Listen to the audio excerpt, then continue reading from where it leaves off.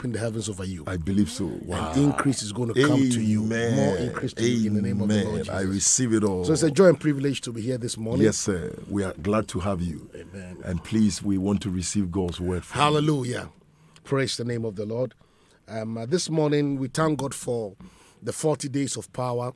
And uh, we thank God for the opportunity to come into His presence to hear the word of God.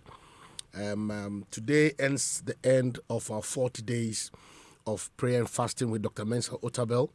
And we've had a very tremendous time. And this is a build up to the greatest event on earth, which is Greater Works 2019.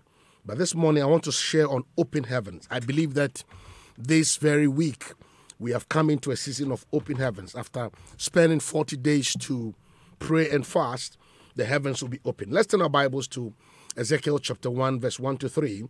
The Bible says that, and it came to pass in the 13th year, in the fourth month of the fifth day of the month, I was among the captives by the river Chebar, that the heavens were open. And I saw visions of God on the fifth day of the month, which was in fifth year of King Joachim's captivity. And the word of the Lord came expressly to Ezekiel the priest, the son of Buzi, in the land of the Chaldeans by the river Chebar, and the hand of the Lord came upon me. Maybe I may want to tweak this word this way that on the 29th day, on the on the uh, 2019, on the 20 on the on the on the seventh month, which is July, and on the 29th day, the heavens were open over us. I believe that this morning the heavens are open over us as a church, as a people, as a nation. If you look at this text, you will notice that three significant things happen when the heavens were open. The first thing that happened that Ezekiel said that I saw visions of God. Anytime the heavens are open, God brings impartation of vision. Anytime the heavens are open, God brings impartation of heaven, a vision. And it's very important that your life is guided by vision. The Bible says that where there is no vision, the people cast off restraint.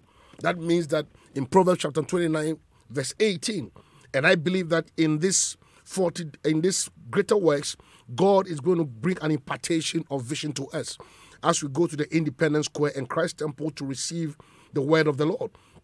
The Bible says that, and the heavens were open, and I saw visions of God. It's very important that there'll be an impartation of vision. You will need a vision to carry out your assignment.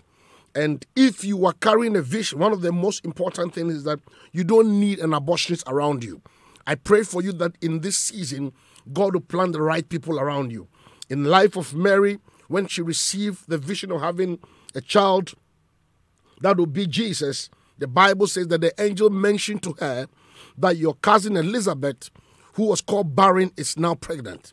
And the Bible says immediately Mary packed her luggage and went to the hill country of Nazareth and to greet Elizabeth. And the Bible said when she greeted Elizabeth, the babies leap for joy. When you are carrying vision, you need the right people around you. I pray for you that God will send the wrong people out of your life. And in this season, God will bring the right people in your life. That will cause your baby to leap. Because the Bible says in Proverbs chapter 27, verse 17, that iron sharpeneth iron. So when you are carrying vision, you need somebody who also sharpen your vision, not somebody who will cause your baby to be aborted. I speak over somebody here that in this week, may God cause your vision to leap, your dreams to leap. The Bible says there's a hope for a tree as long as it remains on the earth at the scent of water, though it may be cut, mm. it might it will bud again. I pray for you that the Lord will help you, that every dream you carry, every vision you carry that seems to die, in the name of the Lord Jesus, as we come to the end of these 40 days, may you receive life again in the name of Jesus. In the name of the Lord Jesus. Hallelujah. And the Bible says here that the second thing that happened in the upper heavens that the Bible said that the word of the Lord came to Ezekiel. Anytime the heavens open, God will bring an accurate word to you. I believe that God is giving us an accurate word this week. As we gather at the Independence Square, as we gather at Christ Temple, God is bringing us a word called Rhema. a Rhema is a specific word to a specific person at a specific time, carrying a specific anointing. I declare over your life that as we come into this season of greater works, God will bring a word in season to our lives, our marriages, our businesses, our careers, our finances. Somebody, God is going to speak directly to you. God is going to cause His word to come alive in your life. In the name of the Lord Jesus. In Hebrews chapter 4, verse 12, the Bible said, For the word of God is living and powerful and sharper than any two edged sword, piercing even to the division of the soul and the spirit and of the joints, joints and marrow, and the discerner and the thoughts and intents of God. I pray for you that God's word will come to you in clarity. Many of us have come to the junction of our life. You are going through the runabout of our life, but a direct word is coming to you. And a word is coming to you this week. A word is coming under open heavens. God will speak a specific word to you. I speak over your life that God's word will come to you through His word, through worship, through the preaching of the word. As we gather at the Independence Square, we declare that a Rhema word will come even to this nation, to Africa, and to the global community. In the name of the Lord Jesus, I declare that under this open heaven, God will speak to that need in your life. And the Bible said, God is not a man to lie, the Son of Man to repent. Has He said it and will He not do it? So that word is coming to somebody at the sound of my voice this morning. Wherever you are, you may be in a hospital bed, you may be sick, but God's word is coming to you. The Bible said He sent forth His word to heal. So I speak healing over your life right now. I declare healing over your marriage right now. I declare healing over your business right now. I declare healing over your career right now. In the name of the Lord Jesus. Anything containing with the word of God in your life. Ezekiel said, An express word came to me. I declare over your life that an express word is coming to you. It will not be hindered, it will not be stopped, it will land on your life and it will manifest in the name of the Lord Jesus. The third thing happened the open heavens, the Bible says that, and the hand of God came upon me. Anytime we talk about the hand of God, it talks about the anointing. Ezekiel said, The hand of God came upon me, the open heavens. It's very important that we understand anointing because as a believer, you need the anointing to grease and also cause you to function. And there are different types of anointing. There's an anointing that comes from our calling, it's an anointing that is released in a season. But I believe that in this week, a fresh anointing is coming on our lives. The Bible says, and the hand of the Lord came. In First Kings chapter 18, verse 46, the Bible said that then the hand of the Lord came upon Elijah, and he get up his loins and ran ahead of Ahab to the entrance of Jezreel. I speak over somebody here that God is giving you divine speed. When the hand of God comes upon your life, God accelerates things in your life. I believe that many of us, from January to July, we have been waiting for something to happen in our life. It seems as if it has delayed. But I declare over your life that under open heavens, may God grant you divine speed. I see the hand of God coming over somebody's marriage, somebody's business, somebody's career, somebody's finances. You were at the back, you were forgotten. But the Bible says that the hand of God came upon Elijah and he ran and overtook the chariots of Ahab. I declare over your life this morning that you are receiving a visitation, you are receiving power, you are receiving grace over your life. You will run and overtake. It does not matter who have gone ahead of you. It does not matter who, who has left you. Never mind when the hand of God comes upon you, the difference will be made in your life. The Bible says that in First Samuel chapter 16, verse 13, that and Samuel took a horn of oil and anointed him in the midst of his brother, talking about David. And the Bible said, and the Spirit of the Lord came upon, upon David from that day onwards. So Samuel arose and went to Ramah.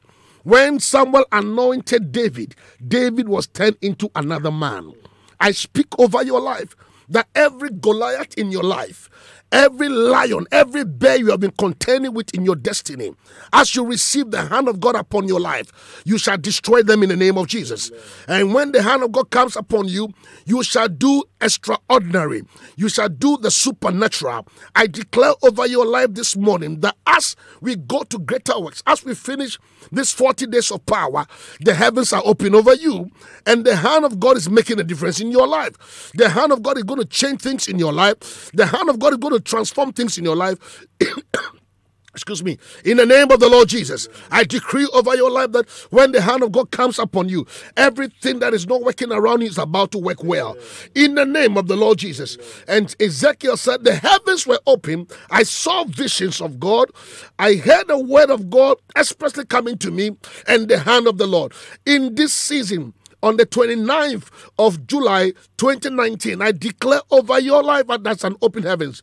As we get to Independence Square this evening at 6 p.m., we declare an open heavens over our country, over Africa, over the whole global world, global community. In the name of the Lord Jesus, we declare that Ghana has entered a new season. I declare that you have entered a new season, a season of open heavens. You have not just waited for 40 days for nothing. God is about to come through for somebody. And the sound of my voice, in the name of the Lord Jesus, things are turning around. You are receiving grace, you are receiving power, you are receiving grace to overtake.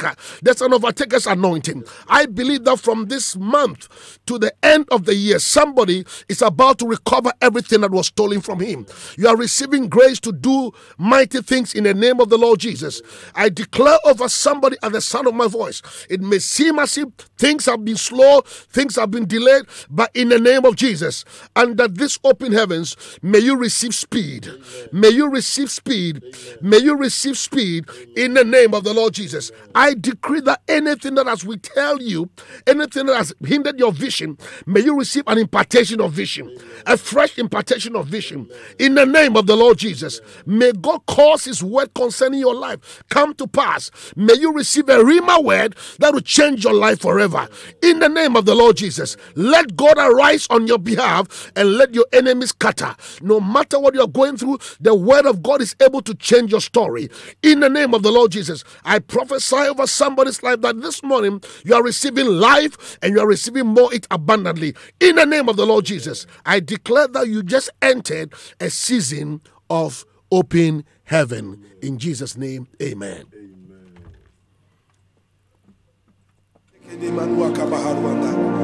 There's going to be a release of the